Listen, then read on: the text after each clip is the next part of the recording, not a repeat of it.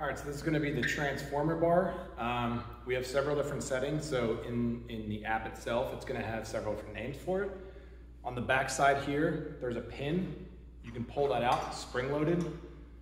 Um, so we have the SSB in the, in the center here. We also got a front squat. So you pull this pin out and then you can rotate this to different positions.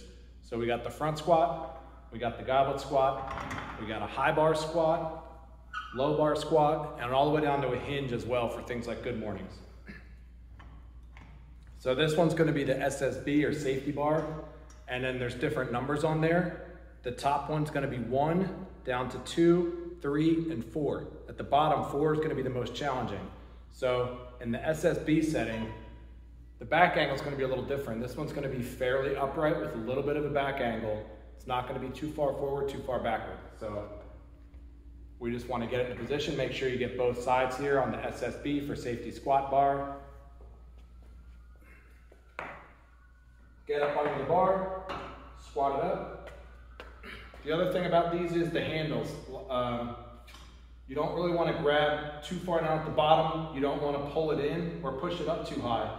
I like to think about this side bar here. We actually want to grab a little bit higher and pull in the direction that is. So if it's gonna be a little far forward for a front squat, we pull it, we pull it forward, forward into our back. You wanna get your back nice and tight with this. So safety squat bar, this one's already kind of naturally falling this direction. So I'm gonna actively pull it into there while squeezing my back as well. And then squat.